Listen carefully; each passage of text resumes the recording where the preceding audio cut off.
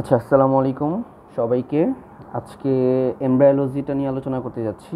আমরা জানি ইতিমধ্যে যারা ফার্স্ট ইয়ার বা সেকেন্ড ইয়ারে আছি, আমরা জানি যে আমাদের এমব্রায়োলজি সাবজেক্টটাকে দুইটা পোর্শনে ভাগ করা হয়েছে। একটা হচ্ছে জেনারেল এমব্রায়োলজি আর একটা হচ্ছে সিস্টেমিক এমব্রায়োলজি আচ্ছা জেনারেল এমব্রায়োলজির আওতাভুক্ত যেই টপিকগুলো আমরা যদি একটু জাস্ট সামারি বলি, সেটা হচ্ছে সেল সেলের স্ট্রাকচার ফাংশন দেন নিউক্লিয়াস হ্যাঁ?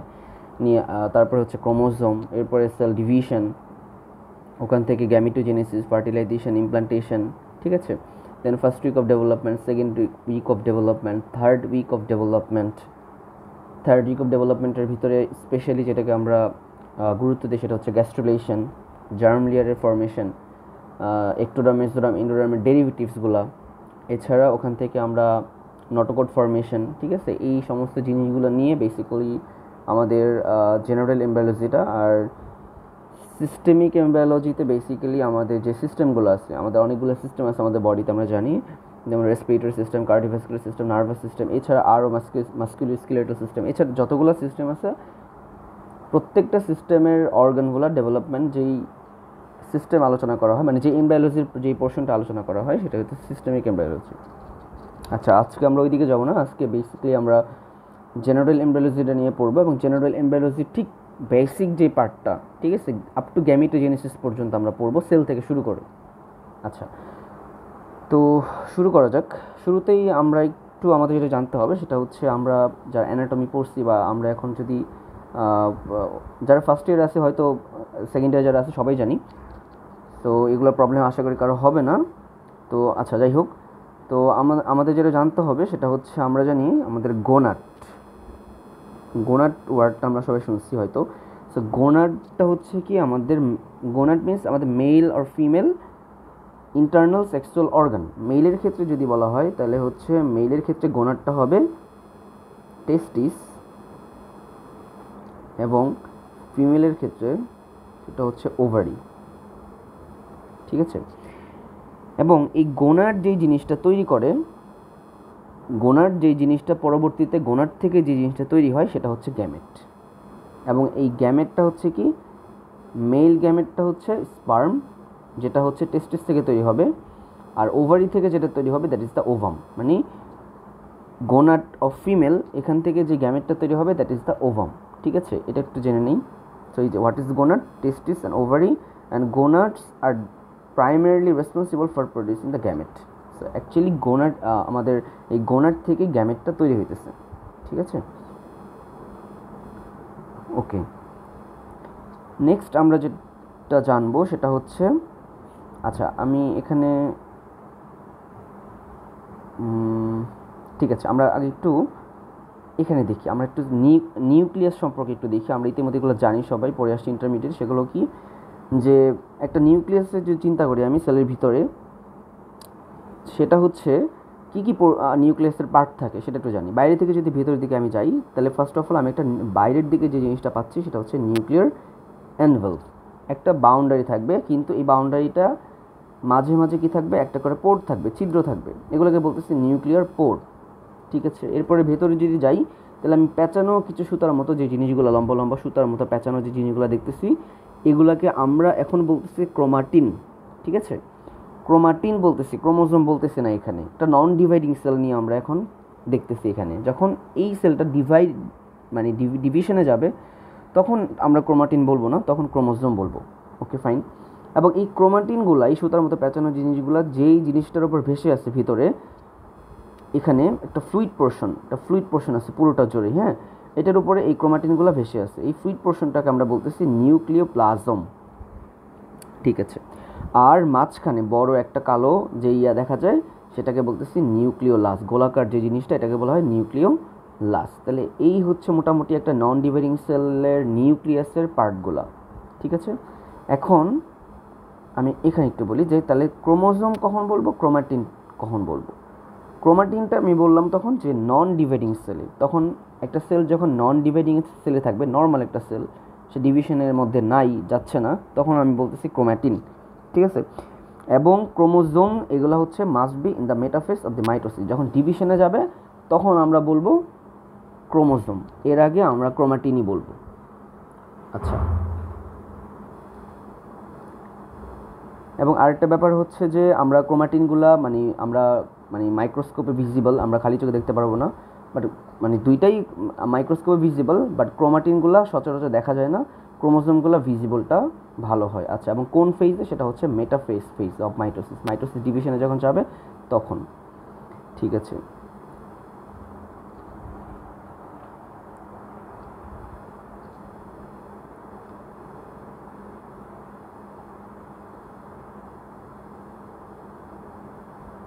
ঠিক আছে। আমরা নেক্সট টপিকে যাই, সেটা হচ্ছে আমরা ক্রোমোজোম ভার্সেস ক্রোমাটিন এখানে আর কিছু পড়ার নাই। এগুলো মোটামুটি এগুলো মনে রাখলে হবে, এগুলো এক্সামের জন্য এতটা ম্যান্ডেটরি না। এরপরে যেটা জানতে হবে, আমি যদি একটু বলে নিই। সাপোজ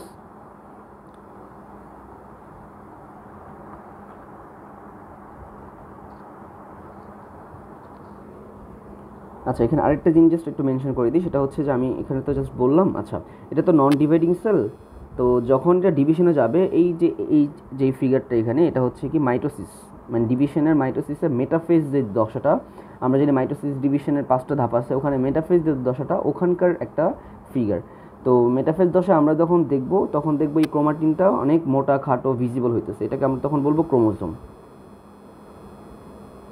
ঠিক আছে? এটা তখন ক্রোমোজোম এবং এইদিকে আমরা জানি বিষবীয় অঞ্চল। ঠিক আছে? এবং মেরু অঞ্চল। আচ্ছা। এবং এখানে কিছু নিউক্লিয়ার, কিছু ম্যাটেরিয়াল দেখতে পাবো। এই নিউক্লিয়ার ম্যাটেরিয়ালগুলোকে আমরা অ্যাকচুয়ালি বলতেছি ক্রোমোজোম আর কি। তো মোটামুটি এগুলাই এখন প্রত্যেকটা ডিপ্লয়েড যে কোষ আছে, এই ডিপ্লয়েড কোষে হচ্ছে ছিচল্লিশটা ক্রোমোজোম থাকে। আমরা জানি টু এন হচ্ছে ডিপ্লয়েড এখানে ছিচল্লিশটা ক্রোমোজোম আছে এবং প্রত্যেকটা যে হ্যাপ্লয়েড কোষ এন এখানে টোয়েন্টি থ্রিটা ক্রোমোজোম আছে। ঠিক আছে? এটা একটু মনে রাখতে হবে। আর আরেকটা আচ্ছা এরপরে আমি আরেকটা ইয়াতে যাই, সেটা হচ্ছে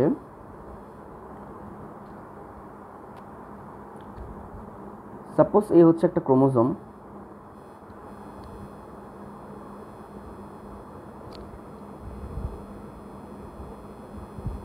এই হচ্ছে একটা ক্রোমোজোম।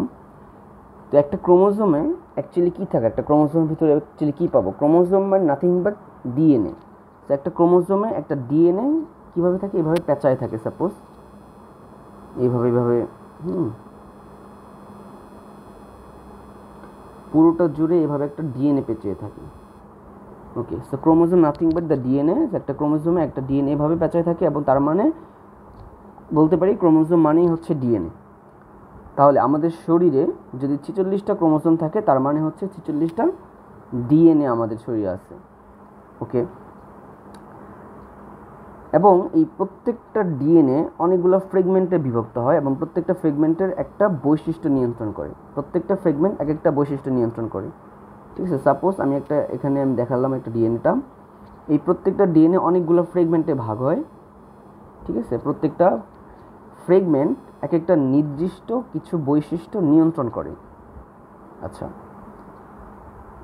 এবং শুধুমাত্র যে একটা সিঙ্গেল ক্যারেক্টারকে নিয়ন্ত্রণ করে, ওই অংশটাকে বলা হয় জিন। ঠিক আছে? ধরো এখানে একটা ক্যারেক্টার নিয়ন্ত্রণ করতেছে, এখানে আরেকটা ক্যারেক্টার নিয়ন্ত্রণ করতেছে, এই ফ্রেগমেন্টে আরেকটা, এই ফ্রেগমেন্টে আরেকটা। তো এখানে আমরা বলতেছি, এই প্রত্যেকটা ফ্রেগমেন্টকে বলতেছি এখানে জিন। ঠিক আছে? জিন বলতেছি। ওকে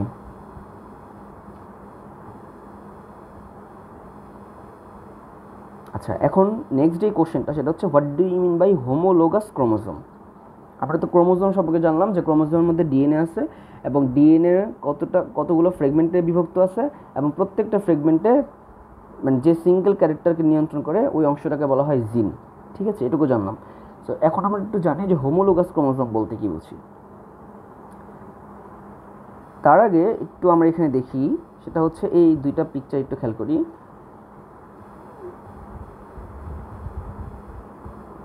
আচ্ছা বিজ্ঞানীরা কি করল? একটা সময় মানে আমি একটা জাস্ট ঘটনা বলি, সেটা হচ্ছে কি বিজ্ঞানীরা একটা সময় একটা নন ডিভাইডিং সেলকে নেয় এবং সেই সেলের মধ্যে অনেকগুলো আমরা জানি ক্রোমাটিক থাকে এবং সাপোজ ওখানে ছিচল্লিশটা ক্রোমাটিন আছে।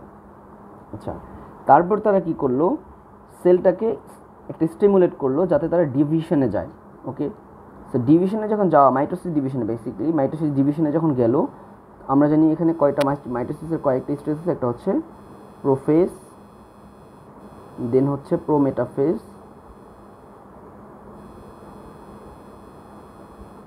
দেন হচ্ছে metaphase telophase and last anaphase যখন তারা ডিভিশনের সেলটাকে স্টিমুলেট করল ডিভিশনের দিকে যাওয়ার জন্য যখন সেই ডিভিশনটা মেটাফেজ দশায় আসলো, তখন তারা ডিভিশনটাকে পজ দিল। পজ দিয়ে তারা যে জিনিসটা দেখতে পেল, এই যে, এই ফিগারটা তারা তখন দেখতে পেল যে, আমি সেই সেলটাকে ডিভিশনে নেওয়ার পর মেটাফেজ দশা যখন আমি পজ দিলাম, তখন হচ্ছে এরকম একটা ফিগার তারা দেখতে পেল। আচ্ছা। ওকে এবং তারা কি করল? মানে এই বেসিকলি এখানে তো অ্যারেঞ্জমেন্ট করা আছে, কিন্তু তারা হচ্ছে অ্যারেঞ্জমেন্টটা দেখতে পায় নাই। তারা বেসিকলি ওখানে হ্যাফ হাজার্ডলি সাজানো থাকে ক্রোমোসোমগুলো তারা তারা তখন কি করল? তারা ক্লাসিফাই করল। এবং কীভাবে? যে টল থেকে শুরু করে শর্ট এভাবে তারা ক্লাসিফাই করল যে ফার্স্টে হচ্ছে এরকম, এটা বড় এটা বড়, তারপরে এটা বড় এটা বড়, এভাবে তারা ক্লাসিফাই করল। আচ্ছা। এবং তারা যে জিনিসটা দেখতে পেল, যেখানে তারা মানে গণে দেখল যে এই মেটাফেজ দশে পজ দেওয়ার পর ওখানে ছিচল্লিশটা ক্রোমোজোম আছে। এবং ছিচল্লিশটা ক্রোমোজোম থাকলেও সেখানে তেইশ রকমের তেইশ রকমের ক্রোমোজোম আছে। তখন তারা কি করল যে প্রত্যেক রকমের যে দুইটা করে ক্রোমোজোম আছে, এই দুইটা করে ক্রোমোজোমকে তারা একসাথে একসাথে করে ফেলল পেয়ার করে ফেলল, ঠিক আছে? এবং তারা হচ্ছে তারপরে এই প্রত্যেকটা পেয়ারকে তাদের টল অনুযায়ী মানে তাদের হাইট অনুযায়ী তারা সাজাইলো যে এটা ফার্স্ট এটা, তারপরে এটা, এভাবে এটা, এভাবে এভাবে তারা টোয়েন্টি টু পেয়ার পর্যন্ত গেল। এবং লাস্টে হচ্ছে এরকম দুইটা জিনিস পাইলো যে আলাদা দুইটা পেয়ার পাইলো, তাদের ওটা তেইশ নাম্বারে রাখল ওই দুইটা জিনিসকে। ঠিক আছে? আচ্ছা।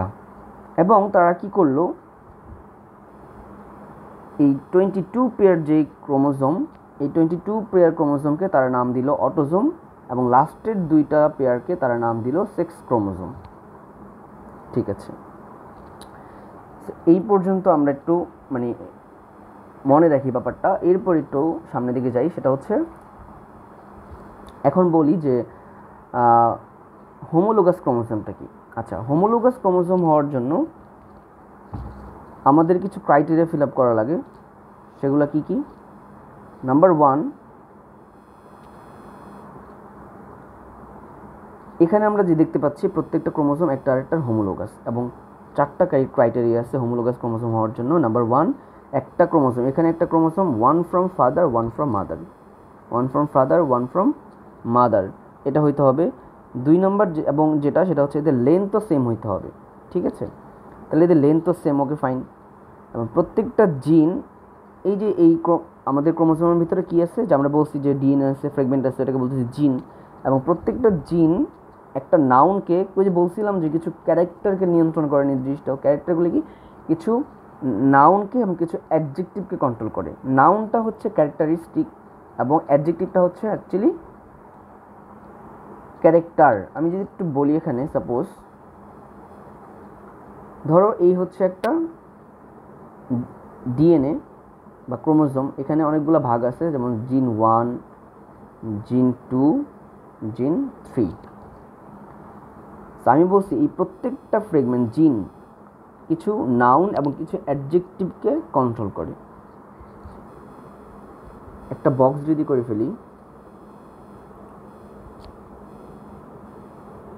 ধরো এটা হচ্ছে আমার noun noun means characteristic characteristics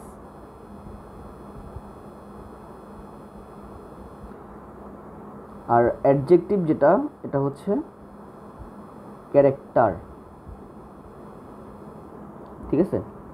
এটা হচ্ছে ক্যারেক্টার তো বলছি, প্রত্যেকটা জিন একটা নাউন একটা অ্যাডজেক্টিভকে কন্ট্রোল করে।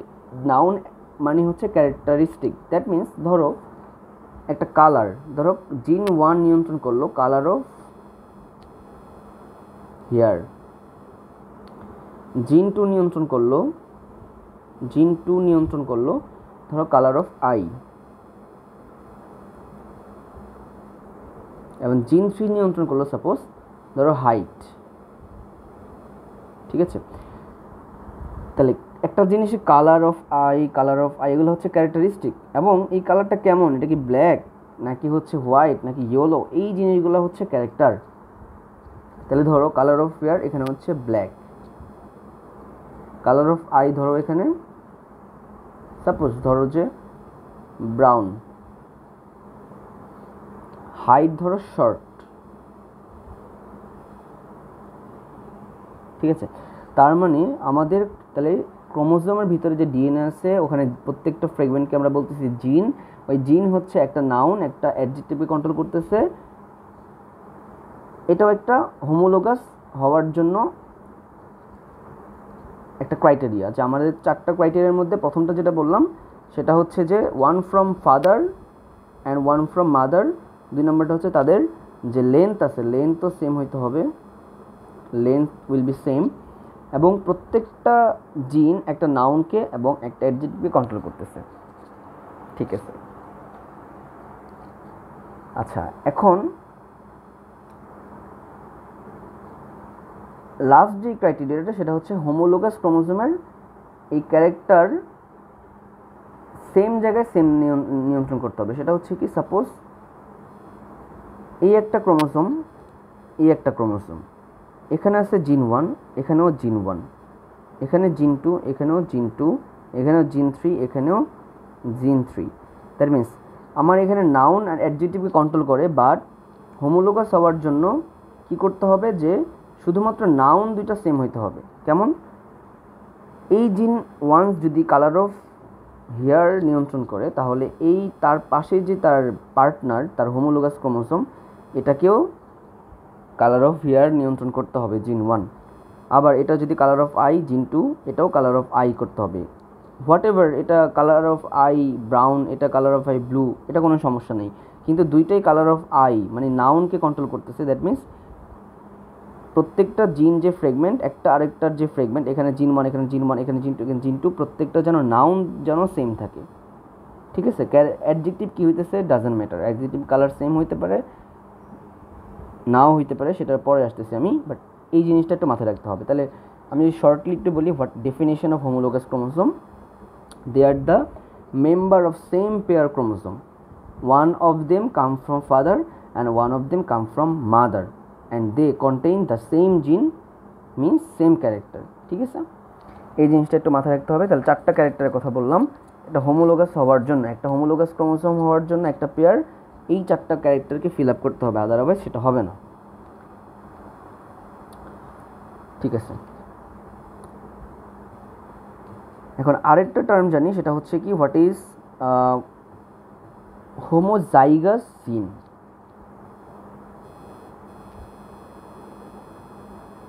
is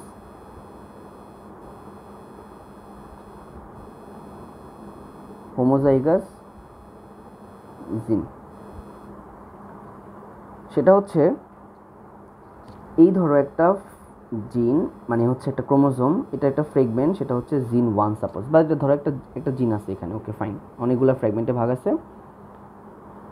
এই জিনটা যেই জায়গাটার মধ্যে অবস্থান করতেছে, আমরা যে ডিএনএ যে ফ্রেগমেন্টটার কথা বলতেছি ক্রোমোজোমের ভিতরে যে এই জিনটা যেই জায়গাটার মধ্যে অবস্থান করতেছে, ওইটাকে আমরা বলতেছি লোকাস। তাহলে লোকাসটা কি? লোকাসটা হচ্ছে যে জায়গাটাতে জিন অবস্থান করে, ওইটাকে আমরা লোকাস বলি। ঠিক আছে?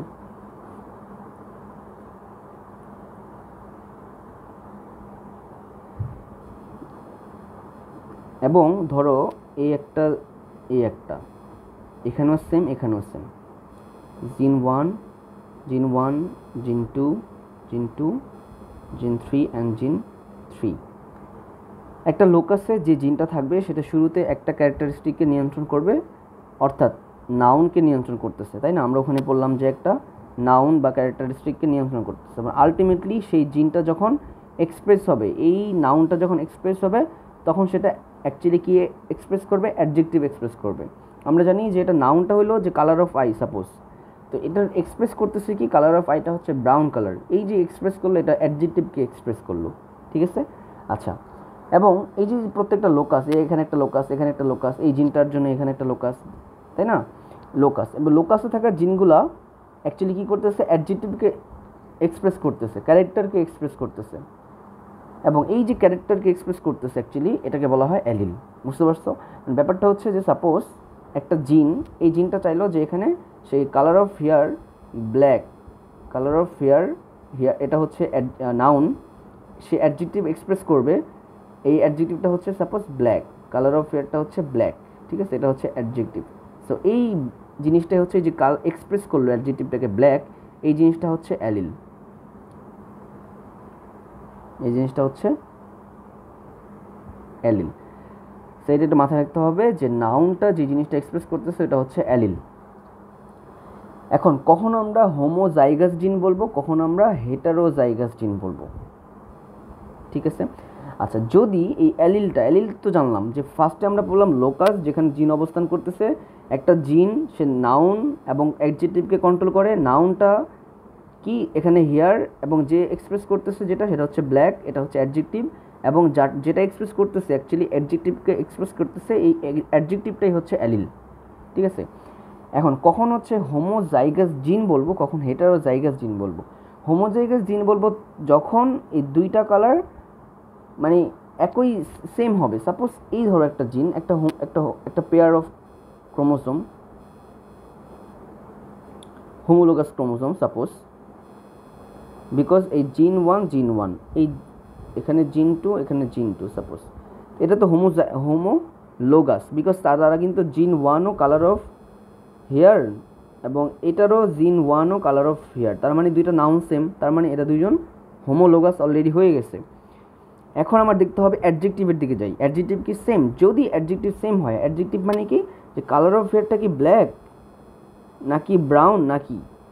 সো দেখলাম দুইটাই হচ্ছে ব্ল্যাক দুইটাই আবার ব্ল্যাকই করতেছে। এই জিনটাও যা, ওই জিনটাও তা। দ্যাট মিন্স এই দুইটা জিনকে এখন বলব হেটারো জাইগাস জিন মানে এরা তো আগে হোমোলোগাস আসেই এখন এখন আরও বলতেছি হোমোলোগাস ক্রোমোজোম বলতেছিলাম তখন, এখন ওই ক্রোমোজোমের মধ্যে যেই অবস্থানটা করতেছে জিন, এই জিন দুইটাকে বলতেছে আমরা heterozygous homo homozygous gene, তাহলে এটা হচ্ছে হোমো জাইগাস জিন। আর যদি সেম না হয় সাপোজ এটা এই ফার্স্ট যে জিনটা, এটার হেয়ার কালার হচ্ছে ব্ল্যাক বাট এটা হচ্ছে ব্রাউন সেই ক্ষেত্রে কিন্তু এটা হয়ে যাবে কি? মানে তখন আর হোমোজাইগাস থাকবে না, এটা হেটারো জাইগাস জিন আমরা বলব তখন, বুঝতে পারছি? তাহলে what is homologous what is homologous chromosome what is চারটা ওখানে ক্যারেক্টার ফিল আপ করতে হবে আমাকে হোমোলোগাস হওয়ার জন্য। এরপর আমি ওখান থেকে আমি আসলাম কোথায়? লোকাসে আমার যেখানে জিনটা অবস্থান করতেছে। লোকাস থেকে আমি আসলাম অ্যালিলে যে আমার অ্যাডজেক্টিভকে এক্সপ্রেস করতেছে। অ্যালিল দুটো যদি সেম হয় মানে কালার দুটো যদি এখানে সেম হয় এখানে, তাহলে সেটা হচ্ছে হোমোজাইগাস জিন নট ক্রোমোজোম আর যদি কালার দুটো সেম না হয় মানে আমার অ্যাডজেক্টিভ দুটো সেম না হয় বা অ্যালিল দুটো সেম না হয়, তাহলে সেটা হয়ে যাবে হেটারোজাইগাস জিন ঠিক আছে? বা এটা এটা একটু মাথায় রাখতে হবে। আচ্ছা এগুলো যে বেসিক এগুলো এক্সামে কখনো আসবে না, বড় জোর এমসিকিউর জন্য। আচ্ছা নেক্সট আমরা যেটা যাব, সেটা হচ্ছে what do mean by diploid and haploid and what is n and twice n ঠিক আছে? ওকে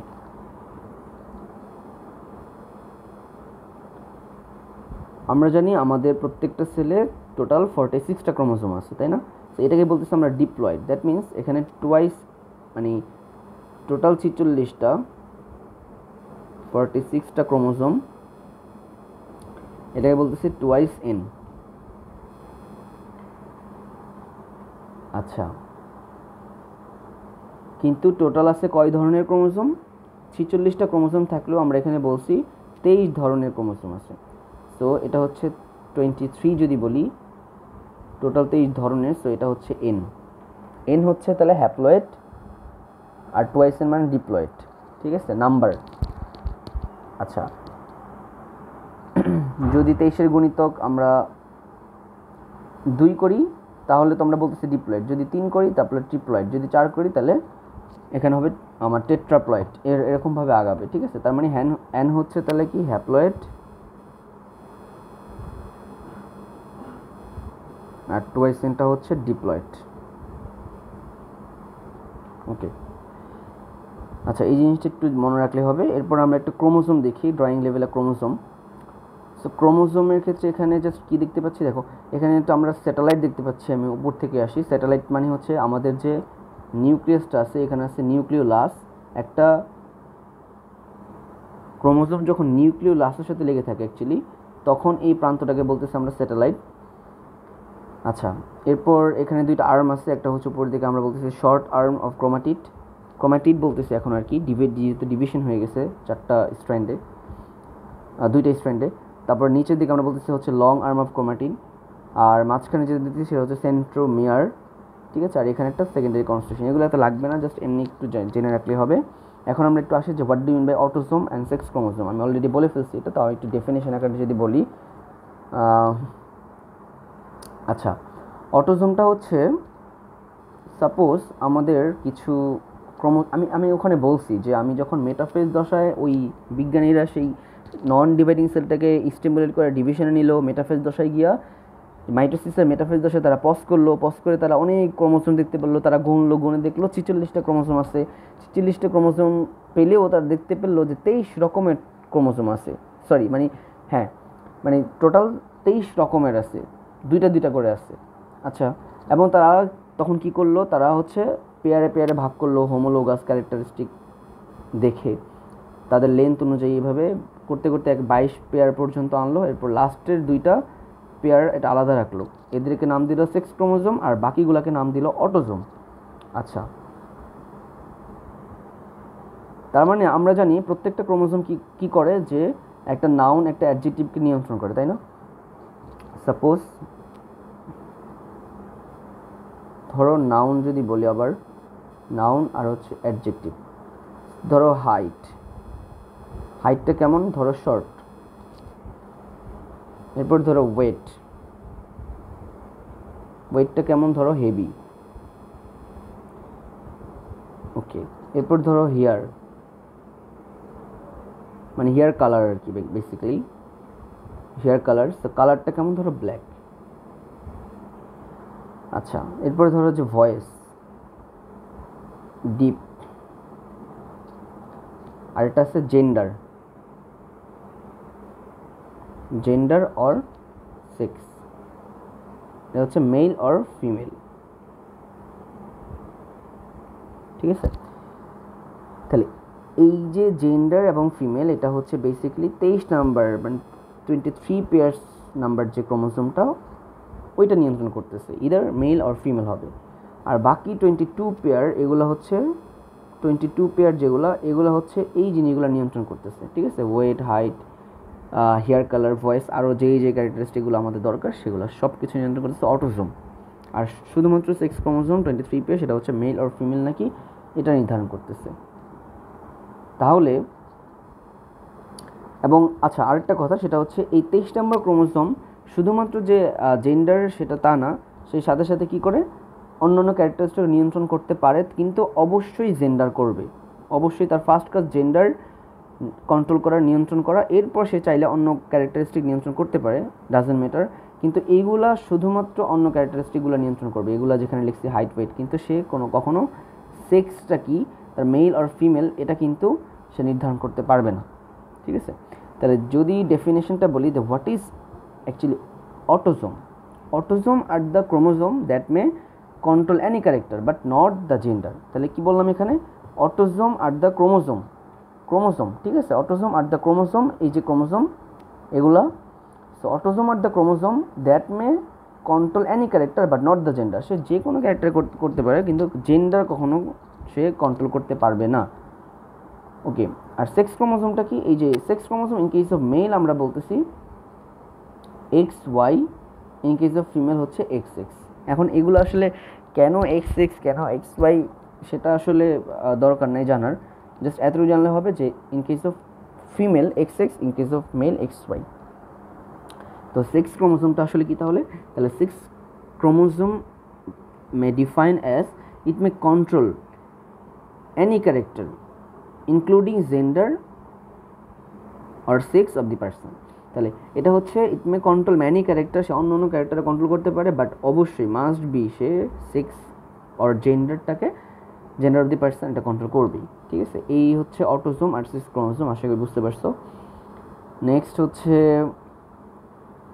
আমরা একটু ছোট করে জাস্ট বলি, এগুলো আমাদের এই মেডিকেল এমবিবিএস লেভেলে লাগে না আসলে জাস্ট একটু জাস্ট নলেজটা যেন থাকে, এটুকু জানা থাকলে হবে।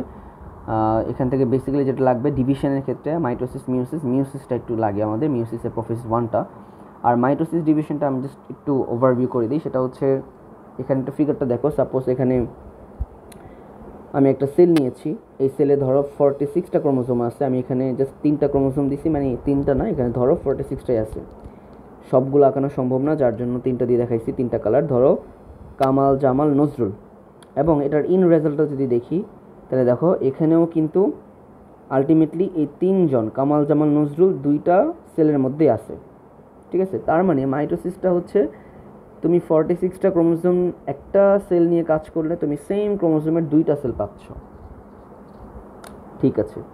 এখানে ডিভিশন হয়ে যাচ্ছে বাট ক্রোমোজোম নাম্বার কিন্তু সেম থাকতেছে। তাহলে ফার্স্টে হচ্ছে কি, আমার, আমরা জানি মাইটোসিসের আমাদের পাঁচটা ধাপ আছে। একটা হচ্ছে কি প্রোফেস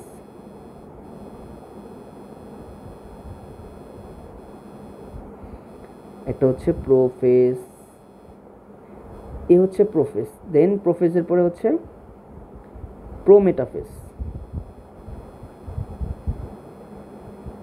প্রোমেটাফেস প্রোমেটাফেসের পরে হচ্ছে মেটাফেস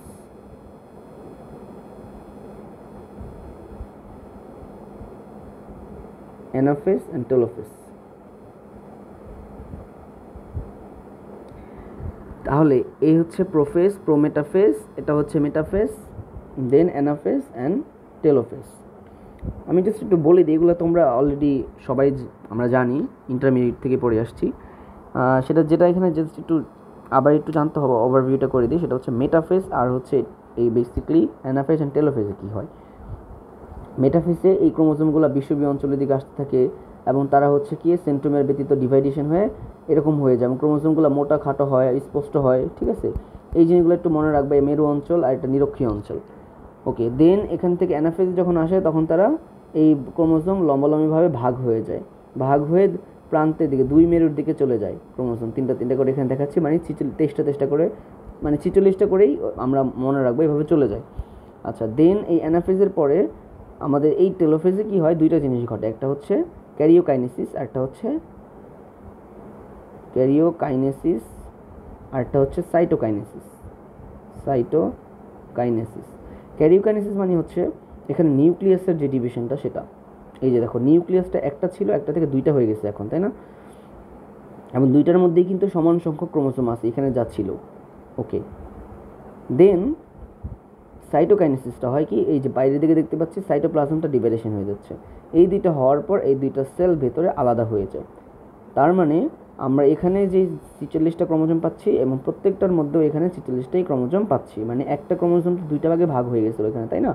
সো আলটিমেটলি ছিচল্লিশটা chromosome pi. This is the mitosis actually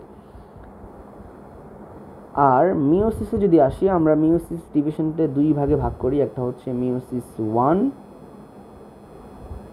আরেকটা হচ্ছে মিওসিস টু তো আমরা বেসিক্যালি মিওসিস ওয়ানের আবার কত চারটা ভাগ আছে? একটা হচ্ছে prophase one metaphase one anaphase one telophase one আমরা প্রোফেস ওয়ানটা নিয়ে আলোচনা করব। আমাদের প্রোফেস ওয়ানটাই এখানে ফোকাসে থাকবে, বাকিগুলো না। আচ্ছা। সো প্রোফেস ওয়ানের ক্ষেত্রে এখানে আবার পাঁচটা ধাপ আছে। কি কি? এগুলো তোমরা জানো। তাও আমি ওভারভিউ করে দিচ্ছি। সেটা হচ্ছে leptotene zygotene pachytene diplotene diakinesis আচ্ছা বাংলায় বলে দিচ্ছি। লেপটোটিনে কি হয়? লেপটোটিনে অ্যাকচুয়ালি এই ক্রোমোসোমগুলো পানি হারাতে শুরু করে এবং ক্রোমোসোমগুলো খাটো, মোটা, আরও বেশি দৃশ্যমান হওয়া শুরু করে। এটা কিন্তু মিওসিস ওয়ানে আমরা আসি তাই না? সো এটা হচ্ছে লেপটোটিনে হয়। জাইগোটিনে কি হয়? জাইগোটিনে হচ্ছে জোর বাঁধা, জাইগোটিন মানে জোর বাঁধা। তো এখানে প্রত্যেকটা যে হোমোলোগাস ক্রোমোসোম এই একটা হোমোলোগাস ক্রোমোসোম এই হোমোলোগাস ক্রোমোসোমগুলো কাম সাইড বাই সাইড, তারা কাছাকাছি চলে আসে, এসে তারা কি হয়? জোড়া বাঁধে। এটাকে বলতেছি বাইভ্যালেন্ট, ঠিক আছে? তার মানে জাইগোটিনে আমরা কি পাচ্ছি? বাইভ্যালেন্ট পাচ্ছি এখানে। দুইটা ক্রোমোজোম দূরে ছিল, এখন তারা কাছাকাছি এসে এরকম জোড়া বেঁধে ফেলে। হোমোলোগাস ক্রোমোজোম কিন্তু তারা, তাই না? আচ্ছা এটা হচ্ছে বাইভ্যালেন্ট তিন নাম্বার যেটা, সেটা হচ্ছে প্যাকাইটিন স্টেজ। প্যাকাইটিন স্টেজে কি হয়? টেট্রাট ফর্মেশন হয়। প্রত্যেকটা ক্রোমোসোম দুইটা স্ট্র্যান্ডে ভাগ হয়ে যায়। এখানে দেখতে পাচ্ছ একটা একটা স্ট্র্যান্ড, তাই না? পুরোটা একটা স্ট্র্যান্ড, একটা। কিন্তু কী হয়? প্রত্যেকটা ক্রোমোসোম এখন দুইটা স্ট্র্যান্ডে ভাগ হয়ে যাবে। এটা প্যাকাইটিনে হয় টেট্রাট ফর্মেশন। কেমন কেমন হয়? ব্যাপারটা হচ্ছে এমন হয়ে যায়। এই একটা।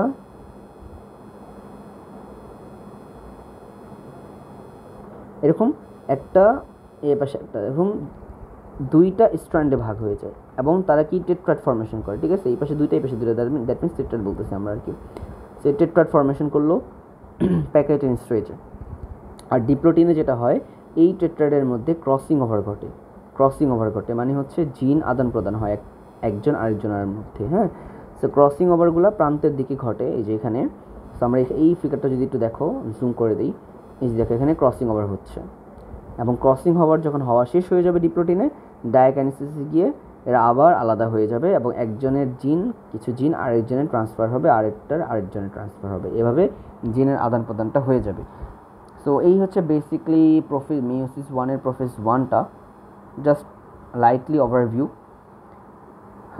নেক্সট আমরা যদি একটু মিউসিসে ডিভিশনে আবার একটু এখানে দেখি, এটা ইন রেজাল্টটা যদি দিকে তাকাই সাপোজ এই একটা সেল নিচ্ছি আমি এখানে, এই সেলে কিছুই দেখা যাচ্ছে না, তাই না? নর্মাল একটা সেলে আমরা কোনো কোনো ক্রোমোসোম কিছুই দেখতে পাবো না।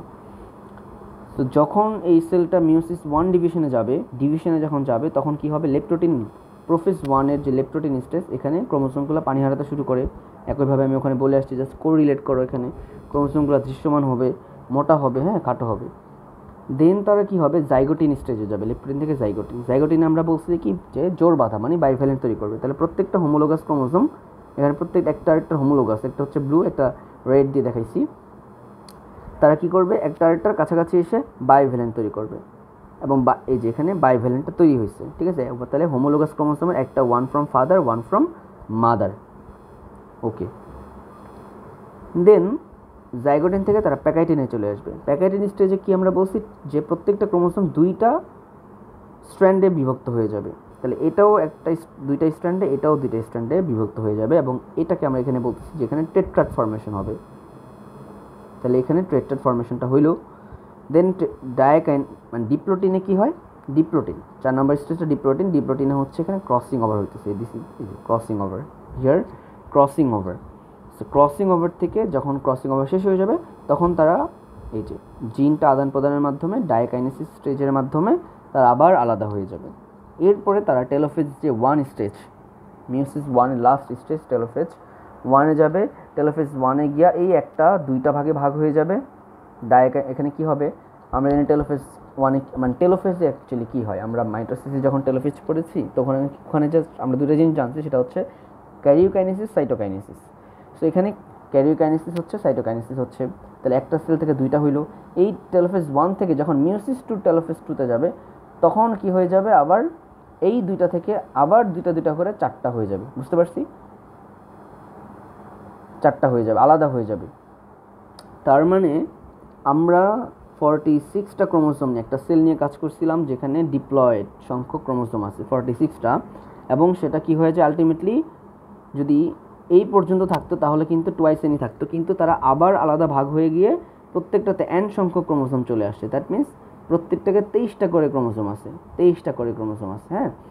আচ্ছা তার মানে একটা থেকে আমরা আলটিমেটলি এই যে, এখানে তেইশটা করে হ্যাপ্লয়েড এখানেও তেইশটা এখানেও তেইশটা। এই তেইশটা করে ক্রোমোসোম প্রত্যেকটার মধ্যে পেয়ে যাই। একটা সেল থেকে আমরা চারটা সেলে তেইশটা করে ক্রোমোসোম পেয়ে যাই তাহলে এন রেজাল্ট অফ মিউসিসটা যদি বলি এন রেজাল্ট অফ মিউসিসটা কী হবে? ফার্স্ট অফ অল একটা সেল থেকে একটা ওয়ান সেল থেকে কি হচ্ছে? আমার ফোর সেল হচ্ছে। আচ্ছা এইটাকে বলতেছি আমরা মাদার সেল মাতৃকোষ আর এগুলোকে বলতেছি ডটার সেল ওকে দুই নাম্বার যেটা পাচ্ছি রেজাল্টটা সেটা কি? যে ফর্টি সিক্সটা ক্রোমোসোম থেকে ফর্টি সিক্সটা ক্রোমোজোম এখান থেকে আমরা পাচ্ছি টোয়েন্টি থ্রিটা ক্রোমোসোম টোয়েন্টি থ্রি ক্রোমোসোম এবং ডিপ্লয়েড থেকে আমরা চারটা হ্যাপ্লয়েড পাচ্ছি।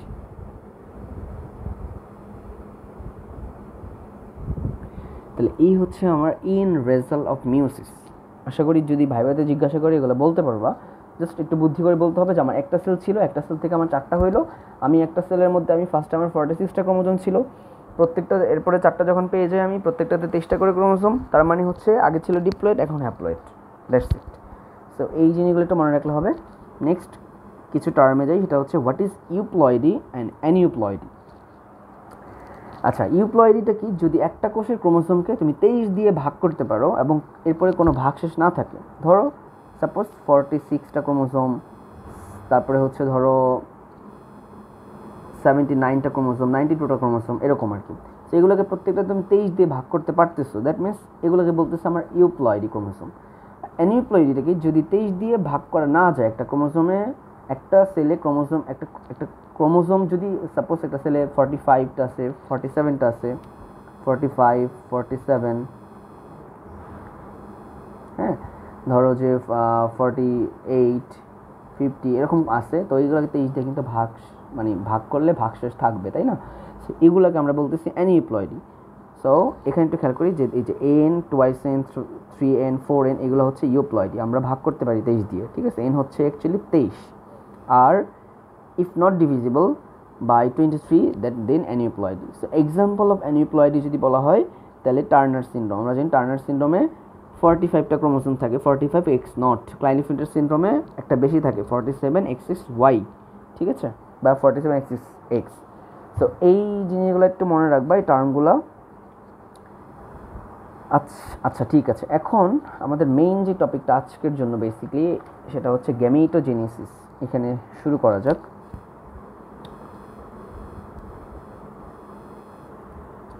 এতক্ষণ যেগুলো বলছি সেগুলো অতটা এক্সামের জন্য ইম্পর্টেন্ট না। আসলে আমাদের ফার্স্ট প্রফের রিটেন কোশ্চেনে যদি বলি, আমাদের এমব্রায়োলজির এই জিনিসটা দিয়ে শুরু হয় আসলে। রিটেনে খুবই ইম্পর্টেন্ট গ্যামিটোজেনেসিস থেকে শুরু করে। আমাদের আচ্ছা ঠিক আছে। তো গ্যামিটোজেনেসিসটা যদি বলি, তাহলে গ্যামিটোজেনেসিস আমরা গ্যামের সম্পর্কে তো জেনে আসছি, তাই না? তখন বলার উদ্দেশ্য ছিল এটাই আসলে, যাতে এখানে বুঝতে সমস্যা না হয়।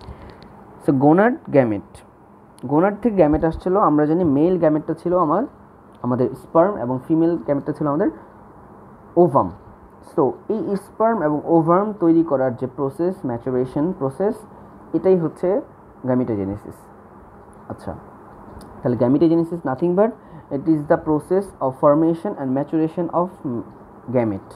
This is the gametogenesis. এখন এই গ্যামেটোজেনেসিস দুই রকমের, একটা হচ্ছে in case of male spermatogenesis বলতেছি আমরা ইন কেস অফ ফিমেল আমরা ও জেনেসিস বলতেছি।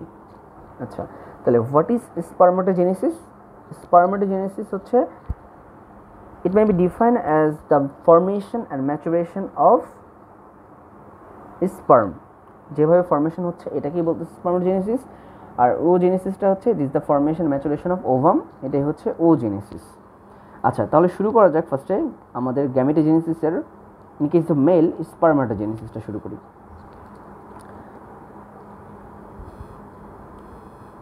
আচ্ছা। সো আমি যদি একটা বেসিক প্যাথওয়ে বলি, এই জিনিসটা একটু খেয়াল রাখো, তাহলে এটা দিয়া বাকি আমার জিনিসগুলো সহজ হয়ে যাবে। Basic pathway for male and female মানে স্পার্মাটোজেনেসিস অ্যান্ড ওজেনেসিস ঠিক আছে? বেসিক প্যাথে যদি খেয়াল করো, সেটা হচ্ছে ফার্স্ট অফ অল একটা প্রিমোডিয়াল জার্ম সেল এই প্রিমোডিয়াল জার্ম সেলটা it is the first thing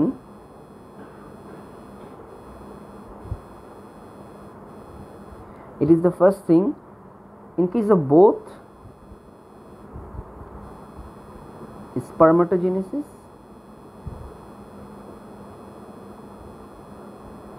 And oogenesis তাহলে আমাদের স্পার্মোজেনেসিস এবং ওজেনেসিস এই দুইটাই শুরু হবে বেসিক্যালি এই প্রিমোডিয়াল জার্মসেল দিয়ে। So primordial germ cell the nothing but cells of epiblast ঠিক আছে? প্রিমেটা ইয়ক্সের থেকে আসছে। সো এখান থেকে আমার মাইটোসিস ডিভিশনে চলে যাবে এই প্রিমোডিয়াল জার্মসেল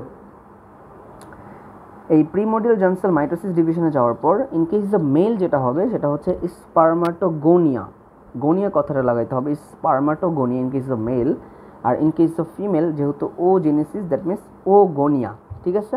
আমি কিন্তু বেসিক প্যাথওয়ে বলতেছি মেল ফিমেল দুইটা একসাথে একটা প্যাথওয়ের মধ্যে আমি আনছি এখানে। আমি এরপর আলাদা আলাদা ডিসক্রাইব করব। তো এখানে একটু দেখো এটা হচ্ছে in case of male spermatogonia mitosis ডিভিশনের মাধ্যমে, আর in case of female oogonia then এই স্পার্মোটোগোনিয়া অথবা ওগোনিয়া আবার মাইটোসিস ডিভিশনে যাবে। ইন কেস অফ মেল সেটা হবে primary spermatocyte in case of female এটা হবে প্রাইমারি ও সাইট ওকে যখন প্রাইমারি কথাটা চলে আসবে, আমার প্যাথওয়ের মধ্যে, তখন আমরা চলে যাব মাইটোসিস থেকে মিউসিস ডিভিশনে সো মিউসিস ওয়ান ডিভিশনে যদি যাই, তখন আমরা কি পাবো? সেকেন্ডারি স্পার্মোটোসাইট এবং ইন কেস অফ মেল এটা, এবং ইন কেস অফ ফিমেল আমরা পাবো সেকেন্ডারি ওসাইট আচ্ছা দেন মিউসিস টু ডিভিশনে যাবে এটা। মিউসিস টু ডিভিশনে গিয়ে in case of male spermatid এবং যেটা হচ্ছে আলটিমেটলি কিছু কনফার্মেশনাল চেঞ্জেসের মাধ্যমে স্পার্ম প্রডিউস করবে, আর ইন কেস অফ ফিমেল এটা হচ্ছে কি মিউসিস টুর মাধ্যমে হয়ে যাবে ওভাম তাহলে এটা একটা বেসিক প্যাথওয়ে এটা জাস্ট মনে রাখো। এখন আমরা যদি আসি, এখন যদি আসি যে আমরা আলাদা করে একটু যদি দেখি, যে স্পার্মাটা জিনিস এখানে একটু দেখি হ্যাঁ? আচ্ছা ফার্স্ট অফ অল আমরা কি করব? জেনেসিসটা এখন আসতেছে আলাদা করে, এতক্ষণ বলছি বেসিক সো ফার্স্টে প্রিমোডিয়াল জার্মসেল এটা কি করবে? মাইটোসিস ডিভিশনের মাধ্যমে প্রাইমারি স্পার্মোটো মানে সরি স্পার্মোটো গনিয়া হবে দেন স্পার্মোটো গনিয়া মাইটোসিস ডিভিশনের মাধ্যমে প্রাইমারি স্পার্মোটো সাইট হবে। This is the primary spermatocyte actually এই প্রাইমারি স্পার্মোটো সাইটটা কী করবে? আবার যখন প্রাইমারি কথাটা চলে আসবে, তখন আমার হবে মিওসিস ওয়ান তখন মাইটোসিস হবে না। মিওসিস ওয়ানের মাধ্যমে হবে সেকেন্ডারি স্পার্মাটোসাইট ঠিক আছে? আচ্ছা সেকেন্ডারি স্পার্মাটোসাইট হয়ে যাবে। এবং এবং আচ্ছা আরেকটা জিনিস বলে নিই, এই যে প্রাইমারি স্পার্মাটো গনিয়ার কথা বলতেছে, এখানে ক্রোমোসোম নাম্বার কত? টোয়েন্টি থ্রি টোয়েন্টি থ্রি এগুলো সব টোয়েন্টি থ্রি ঠিক আছে? তাহলে প্রাইমারি স্পার্মাটোসাইট দেন এখান থেকে সেকেন্ডারি স্পার্মাটোসাইট সেকেন্ডারির পরে এই দুই পাশে আবার কি হয়ে যাবে? মিওসিস টু হবে। মিওসিস টুর মাধ্যমে এটা থেকে দুইটা হবে স্পার্মাটিট এখান থেকেও দুইটা স্পার্মাটিট ঠিক আছে? দুই পাশে। সো আলটিমেটলি একটা একটা হচ্ছে প্রাইমারি স্পার্মাটোসাইট থেকে চারটা স্পার্মাটিট তৈরি হইতেছে। এবং এই স্পার্মাটিটগুলো আলটিমেটলি কিছু কনফার্মেশনাল চেঞ্জেসের মাধ্যমে সেটা হচ্ছে স্পার্মে কনভার্ট হবে। আচ্ছা।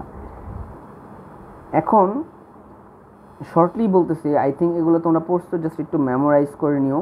এটার সাথে এই পর্যন্ত বলতেছি স্পার্মাটিড যখন এটা কিছু কনফার্মেশনাল চেঞ্জেস হবে চারটা, তখন তারা হয়ে যাবে স্পার্ম এবং এই কনফার্মেশনাল চেঞ্জেসের নামটা হচ্ছে স্পার্মিওজেনেসিস স্পার্মিও তাহলে একটা হচ্ছে স্পার্মাটোজেনেসিস স্পার্মাটোজেনেসিসের মধ্যেই একটা কনফার্মেশনাল চেঞ্জেস আছে, সেটা হচ্ছে spermiogenesis so what is spermiogenesis actually এটা একটু দেখো। স্পার্মাজেনেসিসটা নাথিং বাট এখানে চারটা যে জিনিস মনে রাখতে হবে, একটা হচ্ছে formation of acrosome condensation of nucleus formation of neck middle piece and tail R shedding of most of the cytoplasm suppose এই একটা গোলাকার জিনিস, আমি একটা ঘর সাপোজ এই একটা ঘর, এটা হচ্ছে তার দর, এটা তার দরজা হ্যাঁ? আচ্ছা এখন আমি বললাম তুমি এখান দিয়ে যাও আলটিমেটলি ও এখান দিয়ে যাইতে পারবে না, কারণ ওর সাইজটা যাওয়ার মতো না। আমি ওরে বললাম যে, না, তুমি জিম টিম করে এসে একটা ভালো একটা শেপ করে নিয়ে আসো তোমার। সো ও কী করল? তখন আলটিমেটলি যাইতে পারবে। সো এই যে কনফার্মেশনাল চেঞ্জেসটা হইতেছে because of this because of this কারণ এটা কি করবে পরবর্তীতে? ওভামকে গিয়ে ফার্টিলাইজ করবে রাইট ফার্টিলাইজেশন আমরা পড়ব। ওভামকে গিয়ে ফার্টিলাইজ করবে। তো ওভামকে ফার্টিলাইজ করার জন্য ওর যে অবস্থায়, গোলাকার অবস্থায় আছে এখন দ্যাট ইজ দ্য স্পার্মাটিড এই স্পার্মাটিডটা এই অবস্থায় ফার্টিলাইজ করতে পারবে না। যার জন্য ওকে কিছু কনফার্মেশনাল কিছু চেঞ্জেসের মধ্যে দিয়ে যেতে হয়, যাতে সে ফার্দার ওভামকে ফার্টিলাইজ করতে পারে। এটাকেই বলতেছি, এই প্রসেসটাকেই বলতেছি স্পার্মিওজেনেসিস ফার্স্ট অফ অল এখানে দেখো কি হয়? ফার্স্ট আমরা বলছি ফর্মেশন অফ অ্যাক্রোজোম আচ্ছা এই যে যে গলজি কমপ্লেক্সটা দেখতে পাচ্ছি এখানে এখানে এখানে ছবিটা একটু জুম করি। রাইট দেখো এটা এটা হচ্ছে গলজি অ্যাপারেটাস আর গলজি কমপ্লেক্স এই গলজি কমপ্লেক্সটা কি হচ্ছে? কনডেন্স হয়ে যাচ্ছে। কনডেন্স হওয়ার মাধ্যমে সে তৈরি করতেছে হচ্ছে অ্যাক্রোজোম তাহলে ফর্মেশন অফ অ্যাক্রোজোমটা হয়ে গেল দুই নম্বর কনডেনসেশন অফ দি নিউক্লিয়াস এই যে আমার নিউক্লিয়াসটা আছে, এটাও কি হয়ে যাচ্ছে? কনডেন্স হয়ে যাচ্ছে, ঠিক আছে? এটাও কনডেন্স হয়ে যাচ্ছে। তিন নম্বর হচ্ছে formation of neck middle piece and tail এরপরে তারা কিছু কনফার্মেশন চেঞ্জেসের মাধ্যমে এরকম হইতে হইতে হইতে হইতে একটা সময় এরকম হয়ে যায়। এবং দেখা যায় কি যে তিনটা পার্টে ভাগ হয়ে যায়, একটা হচ্ছে head middle piece tail head body R middle piece and tail ঠিক আছে? এবং হেডে আমরা দেখতে পাই যে এখান থেকে আমাদের যে কন্ডেন্স হয়ে গেছিল, তখন অ্যাক্রোসোমটা তৈরি হয়ে গেছে এবং নিউক্লিয়াসটা কন্ডেন্স হয়ে গেছে। এবং এখানে যে মোস্ট অফ দি সাইটোপ্লাজম ছিল সবগুলা শেডিং আউট হয়ে গেছে। এখানে ভেতরে যে সাইটোপ্লাজমগুলো ছিল দেখো এই সাইটোপ্লাজমগুলো কিন্তু এখন আর এখানে নাই। তার মানে shedding of most of the cytoplasm এবং টেল তৈরি হয়েছে। এখন কথা হচ্ছে যে এটার আসলে দরকারটা কী ছিল? আমি বললাম যে ওখানে একটা কারণ সেটা কি? সে ওভামকে ফার্টিলাইজ তো করতে হবে। সো এটা অ্যাকচুয়ালি পারপাসটা হচ্ছে to gain the motility motility অর্জন করার জন্য এবং increase the permeability increase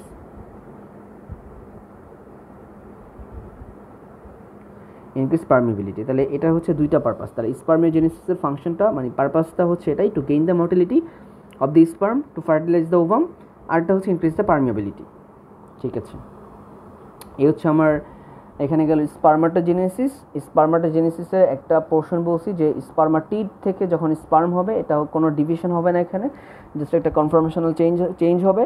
এই চেঞ্জটাকে আমরা বলতেছি স্পার্মিও জেনেসিস আচ্ছা এবং লাস্ট যে টপিকটা সেটা হচ্ছে ওজেনেসিস ওজেনেসিসটা কি বলছিলাম? যে it is the process of formation of maturation of ovum ঠিক আছে? অফ ফিমেল গ্যামেট এটাই হচ্ছে আমার ওজেনেসিস ওকে এখানে একটু তাকাই এখন।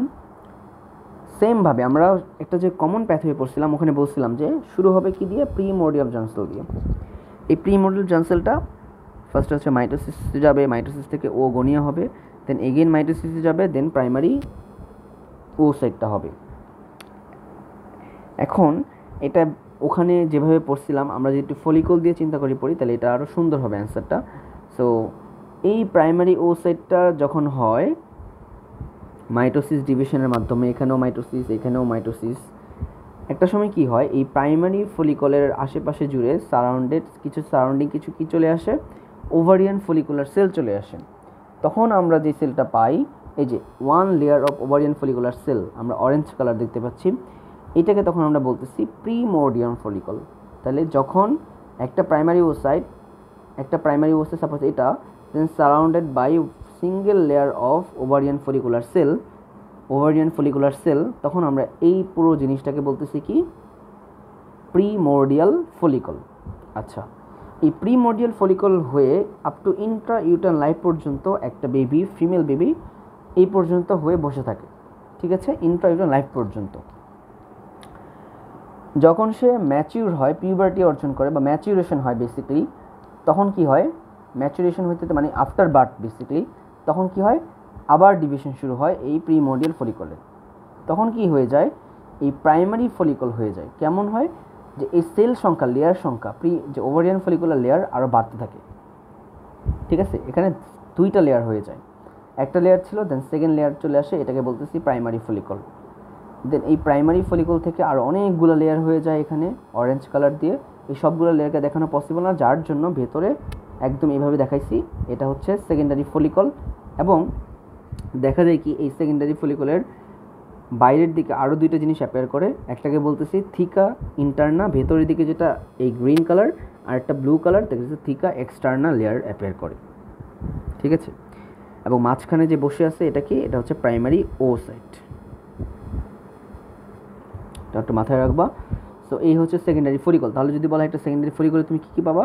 বাইরে থেকে দুইটা লেয়ার থিকা এক্সটার্না থিকা ইন্টারনা দেন তুমি হচ্ছে এই যে ফলিকুলার যে ওভারিয়ান ফলিকুলার যে সেল লেয়ার এটা দেন ভেতরের দিকে তুমি পাবা হচ্ছে, একদম ভেতরের দিকে তুমি পাবা প্রাইমারি ও সাইড এবং খেয়াল করো, এবং প্রাইমারি ও সাইডকে সারাউন্ডেড বাই একটা রেড কালারের একটা লেয়ার এটাকে বলতেছি জোনা পেদোসিরা তার মানে হুট করেই দেখো, এখানে সরি কতগুলো লেয়ার অ্যাপেয়ার করে এগুলো, তাই না? বাইরের দিকে এক্সটার্না ইন্টারনা এবং ভেতরের দিকে প্রাইমারি ও সারাউন্ডেড করে আছে জোনা পেলোসিড একটা লেয়ার এবং এই জোনা পেলোসিড এটা বেসিক্যালি কি? একটা গ্লাইকোপ্রোটিন কাভারিং গ্লাইকোপ্রোটিন ক্যাপসুল যেটাকে বলতেছি আমরা, এখানে অ্যাপেয়ার করবে সেটা। তো এটাকে বলতেছি সেকেন্ডারি ও সাইট ঠিক আছে? আর ভেতরের দিকে যে কমলা কালার যেগুলো অরেঞ্জ কালার এগুলো ফলিকুলার সেল একটা সময় আরও ডিভিশন মানে আরও ম্যাচুরেশন হয় হইতে হইতে, একটা সময় কী হয়? এটার ভেতরে একটা ফ্লুইড ফিল একটা ক্যাভিটি অ্যাপেয়ার করে, যেটাকে আমরা বলতেছি অ্যান্ট্রম অ্যান্ট্রম এখানে কিছু ফ্লুইড ফিল ক্যাভিটি আছে। কী ধরনের ফিল এগুলো it is rich in actually hormones এবং এই হরমোনগুলো কোথেকে আসে? Hormone comes from the folliculars and theca cell follicular cell এবং বাইরের দিকের থেকে এক্সটার্ন ইন্টারনা এখান থেকে এই জিনিসগুলো আসে এখানে, ঠিক আছে? তার মানে এখানে হরমোন রিচ কিছু ফ্লুইড থাকে। এটাকে বলতেছি আমরা অ্যান্ট্রাম একটা ক্যাভিটি অ্যাপেয়ার করে। এবং ক্যাভিটি অ্যাপেয়ার করার সাথে সাথে এক পাশে এই জিনিসটা সরে আসে। জোনা পেলুসিডা এবং এটার ভেতরে যে আছে, প্রাইমারি ওসাইট এটা চলে আসে। ঠিক আছে। এবং একটা সময় কি হয়, এই প্রাইমারি এখন দেখো, প্রাইম স্টিল প্রাইমারি ওসাইটটা কিন্তু এখানে আছে, তাই না? স্টিল প্রাইমারি ওসাইট এবং এটাকে বলতেছি আমরা সেকেন্ডারি ফলিকল শুধুমাত্র অ্যান্ট্রাম অ্যাপেয়ার করছে আচ্ছা এখন এই প্রাইমারি ওসাইটটা জাস্ট বিফোর দ্য ওভুলেশন যখন ওভুলেশন হবে, আমরা আমরা জানি ওভুলেশনটা কি? Rupture of the Graafian follicle ঠিক আছে? অ্যান্ড ডিসচার্জ অফ দি মানে সেকেন্ডারি ওসাইট বেসিক্যালি বা ওভাম যেটাই বলি আমরা ইন্টু দ্য অ্যাবডোমিনাল ক্যাভিটি তো এই পর্যন্ত হয়ে সে বসে থাকবে আপ টু ওভুলেশন একবার এখানে বসেছিল, কোন পর্যন্ত? ইন্ট্রা ইউটন লাইফ পর্যন্ত, সেখানে প্রাইমারি ফলি প্রিমোডেল ফলিকল হয়ে। দেন যখন বাচ্চা জন্মগ্রহণ করে, করার পর তখন এই ডেভেলপমেন্টগুলো হয়, এবং আপ টু ওভুলেশন পর্যন্ত। ওভুলেশন পর্যন্ত সেটা পিউবার্টি পর্যন্ত সেটা বসে থাকবে প্রাইমারি ও সাইট হয়ে। যখন ওভুলেশনটা হবে complete the meiosis one just before the ovulation তখন এই প্রাইমারি ওসাইটটা তখন কি করবে? আমরা বলছিলাম প্রাইমারি কথা চলে আসলে মিওসিস কথাটা চলে আসবে তখন। তখন এই প্রাইমারি ওসাইটটা এখন কি করবে? মিওসিস ওয়ানে যাবে। মিওসিস ওয়ানে যাওয়ার পর দেখো আর কোথাও এদিকে কোথাও চেঞ্জ হবে না। শুধুমাত্র এই ভেতরে প্রাইমারি ওসাইটটা আরেকটা পোলার বডি হয়ে যাবে। সো এখন প্রাইমারি ওসাইট আর নাই, এখন হয়ে যাবে কি? প্রাইমারি ওসাইট থেকে প্রাইমারি থেকে এখন হয়ে যাচ্ছে সেকেন্ডারি ওসাইট আর এটা হচ্ছে একটা first polar body polar body হয়ে যাচ্ছে এখানে হ্যাঁ? আচ্ছা। এরপর কি হয়ে যাবে? ওভুলেশন হয়ে গেল। ওভুলেশন হয়ে যাওয়ার পর এই জিনিসটা বের হয়ে আসবে এবং এই জিনিসটা বের হওয়ার সাথে সাথে মানে এই জিনিসটা বলতে সেকেন্ডারি ওসেটটা বের হয়ে আসবে এবং সেকেন্ডারি ওসেটটা একা বের হবে না। সারাউন্ডেড বাই জোনাপেলোসিটা যেটা আছে গ্লাইকোপ্রোটিন ক্যাপসুল এটাও নিয়ে আসবে এবং কিছু ফলিকুলার সেলও নিয়ে আসবে। এবং যেই ফলিকুলার সেল সহ সে ওভুলেশন হবে, এই সেলগুলোকে এখন আমরা বলতেছি হচ্ছে আরেকটা স্পেশাল নাম দিচ্ছি, সেটা হচ্ছে কি cell corona radiata corona radiata ঠিক আছে? তাহলে এই হচ্ছে কাহিনী আসলে। এই পর্যন্ত বসে থাকবে দেন ওভুলেশন যখন হবে just before the ovulation meiosis one complete করে তারা হচ্ছে secondary oocyte polar first polar body হয়ে যাবে এবং ফার্স্ট পোলার বডি হওয়ার পর সেটা হচ্ছে কিছু, এটা বের হয়ে যাবে ওভুলেশন হয়ে। ওভুলেশন হওয়ার মাধ্যমে সে সেকেন্ডারি ওসাইড পাশাপাশি পোলার বডি তো নষ্টই হয়ে যাবে, এর জন্য আর আমি এখানে দেখাই নেই আলাদা করে। So secondary oocyte then zona pellucida আর কিছু ফলিকুলার সেল এগুলো চলে আসবে। এবং এই ফলিকুলার সেলগুলোকে বলতেছি করোনা রেডিয়াটা এবং এই পর্যন্ত হয়ে এখন থাকবে। যখন স্পার্ম আসবে স্পার্ম আসবে যখন, তখন হচ্ছে আফটার সেক্সুয়াল ইন্টারকোর্স তখন হচ্ছে কি হবে? এই সেকেন্ডারি ওসাইটটা তখন মিওসিস টু ডিভিশন কমপ্লিট করে তখন সেটা হচ্ছে ওভামে কনভার্ট হয়ে যাবে। এর আগে সে সেকেন্ডারি ওসাইট তার মানে আমি যদি এই একটা সেকেন্ডারি ওসাইট জাস্ট স্পার্ম যখন টাচ করবে জাস্ট বিফোর এই সময়টাই কী হয়ে যাবে? এটা ওভামে কনভার্ট হয়ে যাবে। তাহলে বেসিক্যালি আমরা যদি ওভুলেশনের ডেফিনেশনটা বলি, তখন কিন্তু আমরা অনেক সময় বলি যে ওভামটা ডিসচার্জ হচ্ছে। বেসিক্যালি ডিসচার্জ হচ্ছে সেকেন্ডারি ও সাইডটা ওভামটা তখনই বলব যখন স্পার্ম আসবে। এর আগে সে সেকেন্ডারি ও সাইড হয়ে থাকবে, ঠিক আছে? তো এরপরে কী করবে? ওভাম, যখন স্পার্ম আসবে, তখন মিউসিস টুটা কমপ্লিট করে সে ওভামে কনভার্ট হয়ে যাবে। আলটিমেটলি দেন ফার্টিলাইজ মানে দেন হচ্ছে এটা ফার্টিলাইজেশন হবে, ঠিক আছে? আচ্ছা এই হচ্ছে ওভুলেশনের ব্যাপারটা। আর এর আগে আমরা এই টোটাল জিনিসটা এখন এতক্ষণ বললাম, সেটা হচ্ছে ও জেনেসিস তাহলে স্পার্মাটোজেনেসিসটা আমরা ইজিলি এখানে বলছি যে ফার্স্টে কীভাবে কী হচ্ছে প্রিমোডার জানসেল দেন স্পার্মাটো গোনিয়া দেন প্রাইমারি স্পার্মাটোসাইট হ্যাঁ দেন হচ্ছে সেকেন্ডারি স্পার্মাটোসাইট দেন এখানে স্পার্মাটিড স্পার্মাটিডের পর স্পার্ম হবে বাই স্পার্মিওজেনেসিস এটা হলো স্পার্মাটোজেনেসিস আর ও জিনিসের ক্ষেত্রে এই প্যাথওয়েটা এবং এই ফিগার সহ এইভাবে যেভাবে ড্র করা আছে কাইন্ডলি এইভাবে ট্রাই করবা। এইভাবে ফলিকল দিয়ে ফলিকুলার ডেভেলপমেন্ট দিয়ে জাস্ট ও জিনিসটা ডিসক্রাইব করলে মানে ভালো একটা মার্কস ক্যারি করবে আশা করা যায় সো এইভাবে এই দুইটা। আর আরেকটা জিনিস আমরা আমরা একটু বলি, সেটা হচ্ছে যে এই যে আমার এখান থেকে সেকেন্ডারি ওসেটটা ঠিক জোনা পেলোসিডা কিছু ফলিকুলার সেল করোনা রেডিয়েটার নিয়ে বের হয়ে গেল। এরপরে বাকি যেই অংশটা ঠিক আছে? মানে হচ্ছে এখান থেকে মানে মানুষের ভিতর থেকে আত্মাটা বের হয়ে গেলো সাপোজ এখন বডিটা পড়ে আসে না, এই জিনিসটা কি আসলে? এই জিনিসটা আমরা একটা টেম্পোরারি এন্ডোক্রাইন গ্ল্যান্ড হিসেবে আমরা জানি। আমরা ফিজিওলজিতে হয়তো পড়ছি, যেটাকে বলি কর্পাস লুটিয়াম তাহলে আফটার ওভুলেশন রিমেনিং যে গ্রাফেন ফলিকলটা এটাকে বলতেছি আমরা কর্পাস লুটিয়াম আচ্ছা এখানে আরেকটা করে একটু মিস গেছে, সেটা হচ্ছে আমি একটু বলে দিই। সেটা হচ্ছে গ্রাফিয়ান ফলিকল সম্পর্কে যদি আচ্ছা আমি এটা নেক্সট আসতেছি মিস জানি একটু আমি বলতেছি। এই পর্যন্ত আমরা জাস্ট মনে রাখব, আমরা এখানে জাস্ট কয়েকটা পয়েন্ট একটু খেয়াল করব যে এটা হচ্ছে, আমি একটু হাইলাইট করে দিই, এটা হচ্ছে প্রাইমারি ফলিকল এটা প্রিমোডিয়াল ফলিকল এটা সেকেন্ডারি ফলিকল আর এখানে যে অ্যান্ট্রাম অ্যাপেয়ার করে, তখন এটাকে আমরা বলি গ্রাফিয়ান ফলিকল হ্যাঁ? এই কথাটা তখন বলি নেই। এটা হচ্ছে Graafian follicle but still primary oocyte যখন এই গ্রাফেন ফলিকলটা সেকেন্ডারি ওসেটে তৈরি হয়ে যাবে। এটাকে বলতেছে ম্যাচিও গ্রাফেন ফলিকল তখন, ঠিক আছে? সেকেন্ডারি ওসেটে যখন থাকবে, এটা ম্যাচিও গ্রাফিয়ান ফলিকল তো অনেক সময় আসে যে drawing level the mature Graafian follicle তখন আমরা বেসিক্যালি এই ফিগারটাই আঁকবো, এই ফিগারটা ঠিক আছে? এই ফিগারটা আমরা তখন ড্র করতে পারব। নিচে দেখাচ্ছে আরেকটা স্লাইডে আসছে এটা। তো যেটা বলতেছিলাম যে এখান থেকে যখন ওভুলেশনটা হয়ে যাবে, তখন কিন্তু রিমেনিং যে গ্রাফিন ফলিকলটা থেকে যাবে, এটাকে আমরা বলতেছি কর্পাস লুটিয়াম এই কর্পাস লুটিয়ামটা একটা টেম্পোরারি এন্ডোক্রাইন গ্ল্যান্ড হিসেবে হয়ে থাকবে up to formation of the placenta তো এই জিনিসগুলোটা একটু মাথায় রাখবা জাস্ট আর কিছু না। এখানে আমি যে ফিগারগুলো দেখতে পাচ্ছি, এগুলো হচ্ছে ল্যাংমেনের ফিগার এগুলো তোমরা ওখানে পাবা। তো একটু দেখে নিও। এখানে প্রাইমারি সাইড দেন হচ্ছে এখানে এই লেয়ারগুলো অ্যাপেয়ার করছে দেন এখানে অ্যান্ট্রাম অ্যাপেয়ার করছে, ঠিক আছে? তারপর হচ্ছে সেকেন্ডারি ওসাইট হয়েছে আপ ওভুলেশন হয়েছে দেন রিমেনিং গ্রাফাইট ফরিকলটা কর্পাস লুটিয়াম হিসেবে থেকে গেছে। আচ্ছা।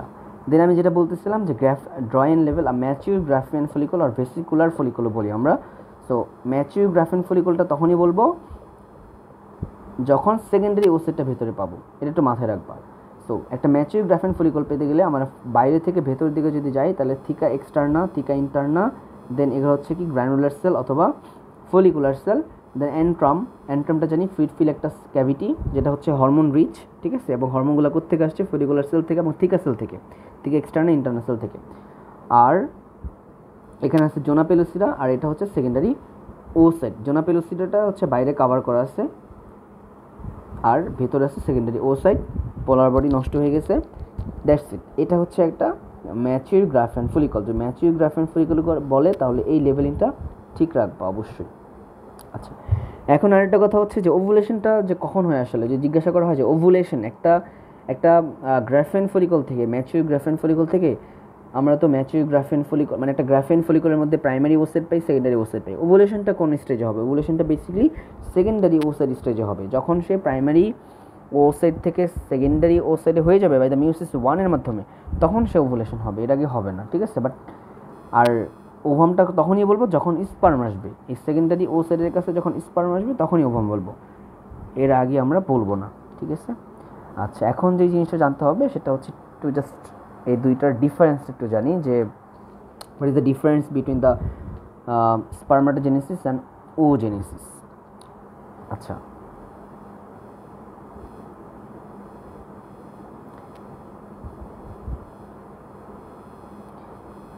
স্পার্মাটোজেনেসিসটা হচ্ছে স্পার্মাটোজেনেসিস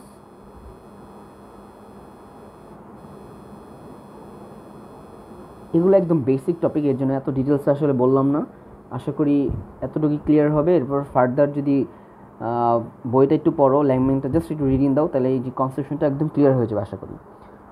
সো আমরা জানি ওল স্পার্মাটোজেনেসিসটা হচ্ছে ইন কেস অফ মেলের জন্য, এটা হচ্ছে ইন কেস অফ ফিমেলের জন্য রাইট আচ্ছা।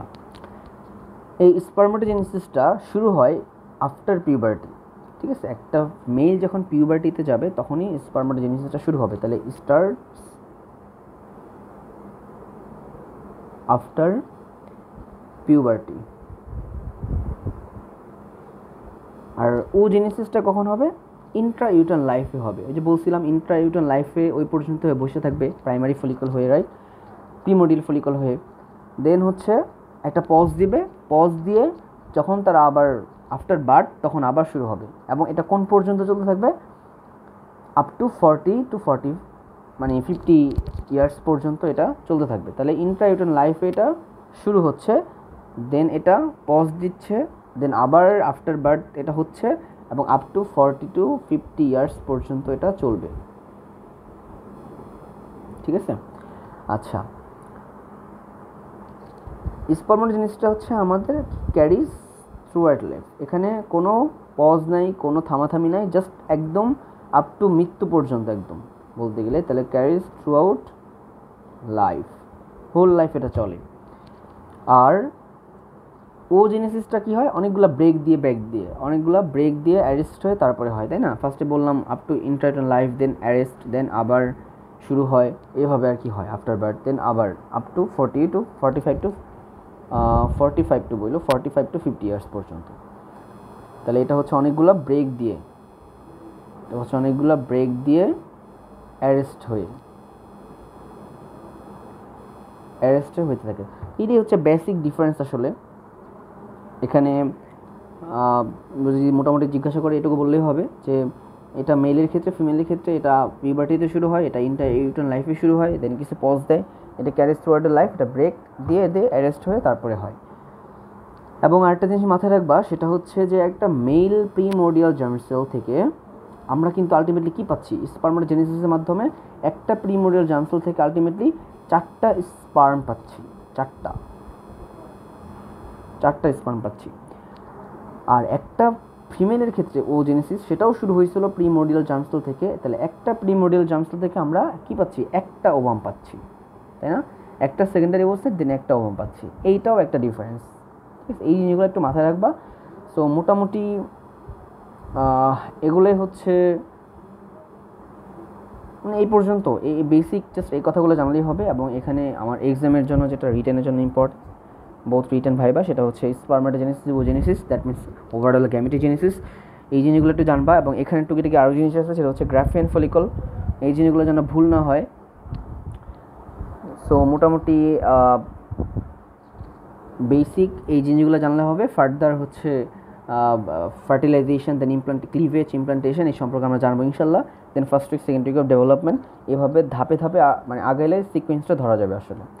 আচ্ছা ঠিক আছে। আজকের ক্লাসটা এই পর্যন্তই। থ্যাংক ইউ সবাইকে। আসসালামু আলাইকুম।